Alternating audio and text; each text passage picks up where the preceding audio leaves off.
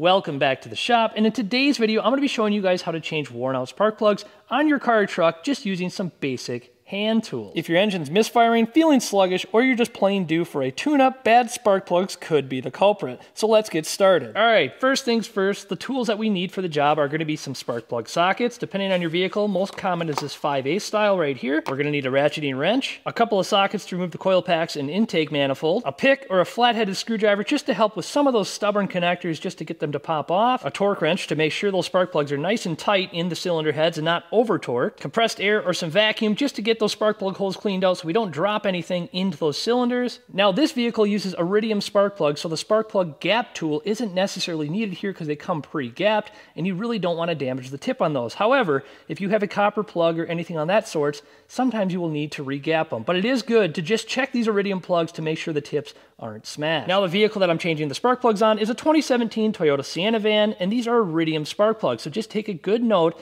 and make sure that nothing is damaged on the tip here because we don't want to install a faulty part. Now this vehicle has an intake plenum that goes over the top of the back cylinder head, so you have to remove that to get access to those spark plugs. So we have another gasket to replace that as well. And last up, I am replacing one ignition coil in the back because that one is acting up and the vehicle was misfiring and this is the culprit right here due to the worn out spark plugs. Now, it is important to note that spark plugs are a wear item, so always consult your owner's manual to make sure that the spark plugs are done on time. And before we begin, make sure the engine is cooled down so you don't risk burning yourself on a hot engine. Now to begin, we gotta remove this top engine cover so we can gain access to the spark plugs. Once that's removed, you can see the ignition coils that house the spark plugs, and we have a lot of debris and buildup from stuff that's been pushed up underneath the engine cover that needs to be vacuumed up.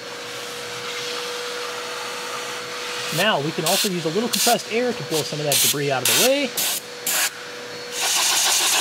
Also blow some of the stuff off the intake as well. And now we can move on to removing the ignition coils. Now you can see these connectors are a little bit stubborn and this is where you can use your pick or a flat-headed screwdriver to help pull up on those connectors and pry them apart. Be careful not to pry too hard because we don't want to break the connectors. Now we can loosen all the bolts for the coil packs. And then one by one take those bolts out by hand and remove the coil packs. And great. It's important to note that not every vehicle is going to be equipped with a coil on plug ignition system. They might actually be equipped with the old spark plug wire style ignition system, but regardless, all these will be the same to gain access to the spark plug. Now, with the coil packs removed, we want to use compressed air to blow up those spark plug tubes to prevent any debris from falling down into the cylinders when we remove the spark plugs. Then, one by one, we can continue to remove the spark plugs and then set them aside once they're removed. With the front three spark plugs now removed, it's always smart to just take a really good detailed look at the spark plug itself because that will tell you a lot about the condition of the engine. Sometimes if you see a lot of stuff built up, it could be that the engine is actually burning some oil or potentially coolant. And in this case, it just looks like they're pretty worn out, just age itself. You can see there's some carbon buildup right here. You can see there's a little bit of excess like feel. It's a little damp right here, which just kind of indicates that this thing probably is just starting to wear out. Again, get a good visual at the tip of the spark plug that enters the engine because that will tell a lot about the condition. Before reinstalling the new spark plugs, take a good look at the electrode at the top to make sure it's not damaged from shipment, and then we can reinstall into the cylinder. Make sure you thread these in by hand so we prevent any cross-threading or damage to the cylinder head threads because that would be a very costly repair. Once the spark plugs are hand tight, you can now use a torque wrench set to the OEM manufacturer specification, and in this case is 13 foot-pound. Now to over torque these because we don't want to strip the threads out. And now once everything's torqued up, we can begin to install the coil packs one by one. Make sure you're firmly pressing down on the coil pack to make sure that boot is nicely seated down onto the spark plug. Now we can reinstall the fasteners. Then the electrical connections one by one. Now the front spark plugs are complete, and now we need to gain access to the rear spark plugs, which requires us to remove the air box. And make a mental note of any vacuum hoses or connections that you need to take off so you can remember to reinstall those. Now this one requires you to remove the throttle plate, so we're going to do that here, and just 10 millimeter bolts and we'll set that aside. Now we can remove the plenum bolts up on top, just some 12 millimeter bolts, and we're gonna get this electrical connector right up on top here, set that aside. Now I need to position the plenum to the side because there's some vacuum hoses located on the back that we don't wanna damage. And now it's a smart time to put some rags over the top of the open intake runner so we don't risk dropping something in there and possibly damaging the engine. And with those rear hoses removed, we can remove the plenum.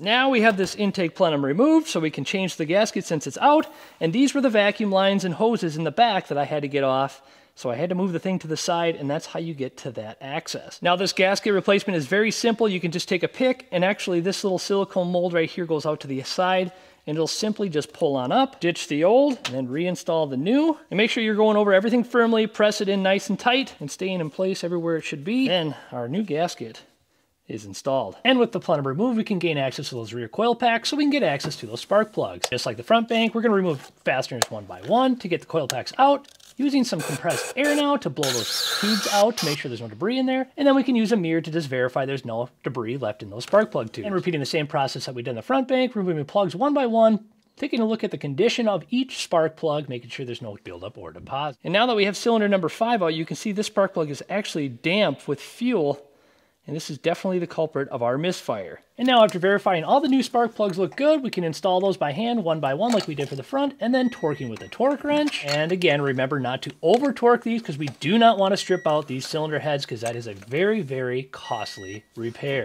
Now we can begin to reinstall the coil packs one by one, and then put those in position, making sure they're fully seated down onto the spark plugs. And then we are going to replace that cylinder number five coil pack that was misfiring with a brand new coil pack. So this one will be out with the old and then in with the new. Now with all the rear coil packs in position, we can begin to tighten those fasteners. And again, we're just snugging up these fasteners. We don't want to over torque these either because we don't want to cause any damage. Now we can remove our little placement here with our rags and we're also going to clean the top of that intake manifold just to make sure it's a nice, clean mating surface. So when we reinstall the plenum, it's gonna be a nice, tight seal. Now, we can reinstall this plenum, but make sure we're always paying attention to all the things that we took off, these electrical connections, and then these vacuum hoses in the back that need to be reinstalled, because if we don't reinstall them, we're gonna have issues. Now, I can put the plenum off to the side so I can reach back there and get those vacuum hoses hooked back up, and then position it in place, and set the plenum down onto the intake manifold, and then one by one, put the connections and vacuum hoses back in its original spots. All the fasteners can now be reinstalled in the intake plenum to the manifold hand tightened so we don't strip anything out. And once we snug up all the bolts by hand, we can take out the old torque wrench and we can apply the proper torque to each fastener, making sure it's nice and sealed tight. Now with plenum torque down, we can go ahead and reinstall that throttle body with those 10 millimeter fasteners. And we're just gonna use this by hand as well.